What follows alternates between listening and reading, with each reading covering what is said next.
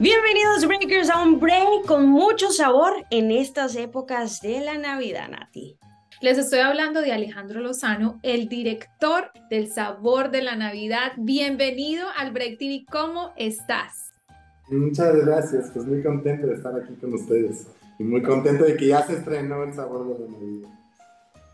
Alejandro, porque la verdad que decíamos y lo decíamos durante el TIFF, aparte que fue una película eh, que también se estrenó durante el Film Festival que tiene Toronto, eh, que tiene propósito, especialmente con nuestras tradiciones latinas a la hora de celebrar la Navidad. Pero yo quiero saber, porque siempre lo he dicho, a la hora de uno tener un bebé, em, salir el bebé, son experiencias diferentes. ¿Cómo ha sido toda esa acogida eh, de esta película tan hermosa y tan emocional que nos conecta a nosotros latinos? Pues la verdad es que justo lo que dices es como una... A mí cuando, cuando Pepe Tamés, que es el guionista de la película, me, me, ofreció el proyecto, pues es como si te encargaran un bebé, ¿no? Es tal cual es el, bebé del guionista. Y siempre está como esta responsabilidad de, de, bueno, de cuidarlo y como darle el mismo amor que, le dio el guionista. Y, y, la verdad es que es una película que todo el proceso, pues le agarramos muchísimo cariño y siempre está esta expectativa de cómo, cómo la va a recibir la gente. Y más una película navideña, que con navideña tienes como un mood muy particular y estás como, como con la familia y con esta pues, reunido, ¿no? Hay mucha responsabilidad ahí, ¿no? Como presentar una película navideña. Y, afortunadamente pues la respuesta ha sido increíble desde, desde que lo presentamos, como dicen, en Toronto, que la respuesta de la gente fue, fue maravillosa. Este, hasta ahora que ya se estrenó en, VIX, en la plataforma, em, que la respuesta ha sido súper, súper favorable y nos tiene súper contentos. ¿Cómo fue em, como construir toda esa idea? Porque me imagino que fue una idea al principio, pero ya eh, darle como una ejecución a ese proyecto. ¿Cómo fue trabajar con todo tu equipo y obviamente incluyendo a Salma?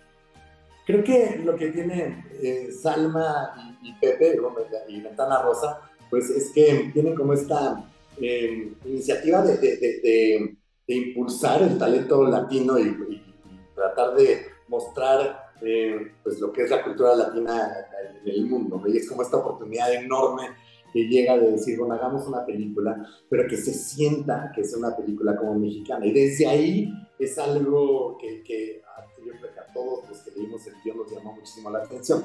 Desde qué padre poder hacer una película que tenga que suceder en México. Que no sea una historia que la puedes como adaptar a cualquier lado, sino es una historia que muestra un poquito lo que es la cultura mexicana en el sentido de la comida, en el sentido de los espacios como la Alameda, en el sentido de, de, pues, las diferentes familias que hay. y esa es una gran oportunidad y es algo, una, pues algo súper loable por parte de Ventana Rosa. Lo que tiene Salma es que es una productora que se mete mucho en los detalles eh, es muy perfeccionista y eso siempre se agradece, siempre se agradece como alguien que tenga un ojo fresco, que vea como tu proyecto y diga, mira, aquí puedes hacer esto, aquí puedes hacer esto, aquí puedes hacer esto. Em, y en ese sentido, bueno, Pepe es una persona que estuvo de la mano conmigo todo el proyecto y Salma tiene estas como, como, como aportaciones muy, muy, muy meticulosas que siempre crecen en los proyectos. Nosotros en Lemon eh, ya habíamos tenido oportunidad de trabajar con ellos, con, la serie de Monarca, y esta dinámica pues es una cosa que habíamos apreciado y, admirado desde parte de Ventana Rosa desde, pues, desde la primera vez que trabajamos con ellos. Nosotras aquí en esta parte del mundo nos encanta, encanta tomarnos break con, breaks con ustedes, quienes están ahí sentados. ¿Cómo nos tomamos un break? a través de algo muy chévere y es jugar, porque la vida uno se la pasa jugando. Alejo le gusta jugar, Alejo juega normalmente en la vida.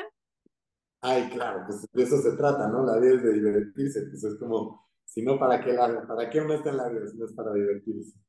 Totalmente de acuerdo contigo. Entonces, mira, los televidentes que siempre nos ven están esperando este segmento y la pregunta del millón es, Alejo le gusta jugar y cómo le gusta jugar. ¿Le gusta jugar eh, normalito, tranquilito o tener como sus, sus cositas por ahí guardadas? Cositas por ahí guardadas siempre. Me encanta. Alejo, Alejo se toma muchos breaks. Me gusta eso. Vamos a arrancar con el más rico y que nos gusta a todos. tamales. Ay, los tamales a mi abuela, obvio. Sí. Ella no hacía tamales, pero compraba muchos tamales. Y, y entonces como que no sé, el recuerdo, el recuerdo que tengo de tamales con mi abuela materna. Bueno, yo me voy a ir, no sé hasta dónde, ni por dónde, ni a qué persona, pero definitivamente el mole, por ejemplo.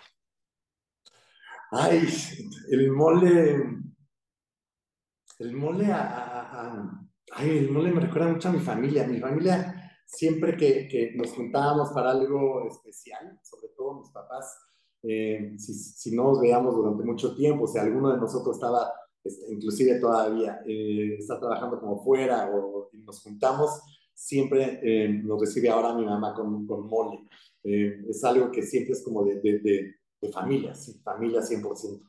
Ahora, esos churritos y buñuelos, ¿a qué memoria o persona te recuerda?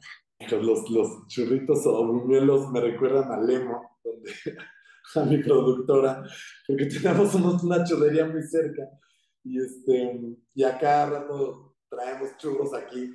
Este, entonces me remonta a eso y a las kermeses infantiles que nos daban churros. Sí.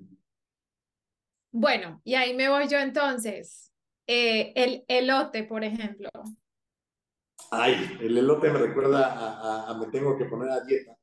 el elote me recuerda al premio de la dieta. Este, porque sí, y al parque, creo que parque, no, no, hay, no hay caminata de parque si no tienes esquites o elote, eh, definitivamente. Algo muy típico de ustedes también, que es el ponche o el pozol. Eh, el, pozole al, al, al, guayabo, ¿no? El, el pozole es, es lo, lo, mejor que hay para el guayabo. Eh, resaca.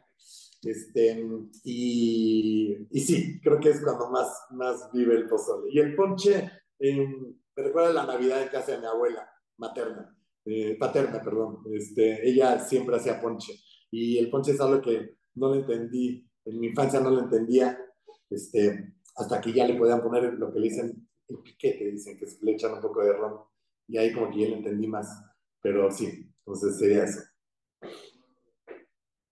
Bueno, y obviamente estás con dos colombianas. Dinos, por favor, por favor, que has probado las empanaditas, que has probado los buñuelos, que has probado la natilla, que has probado el sancocho. Dime, a ver, bandeja paisa, cuenta. Bandeja paisa, gallina, ¿cómo se llama? La, rellena, este, todo, todo, la mamona, todo, todo, todo.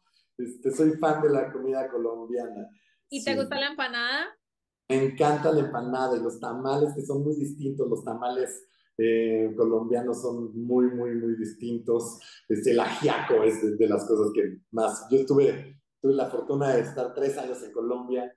Me recorrí todos los restaurantes que pude y, y es una comida que le tengo mucho, mucho, mucho cariño. La primera vez que comí una bandeja paisa, eh, me subí el cerro del Monserrat corriendo porque para poder bajar esa cantidad de comida. Es comida montañera. Exacto, no, pero es riquísima, riquísima, riquísima. Yo estoy segurísima que más de un televidente le está sonando el estómago como a mí. Y cuando se vean el sabor de la Navidad, mucho más, porque es una película llena de tradiciones y la verdad que estamos más que agradecidas de poderte tener y poder conectar esta película que realmente tiene un propósito para nuestra cultura latina. No, pues muchísimas gracias. Yo feliz y, de verdad creo que es una película súper bonita que, que, mueve fibras, que, que te hace eh, pasar por distintas emociones y que, y nada, y que estamos muy, muy contentos y le tenemos muchísimo cariño y esperamos que todos los que la vean le hagan el mismo cariño que nosotros. Gracias nuevamente y nada, por aquí obviamente las puertas abiertas, gracias por tomarte un break. El Break TV tiene muchísimas sorpresas con México lindo. Yo siempre le digo México lindo porque es uno, es uno de mis países favoritos, tengo que decirlo.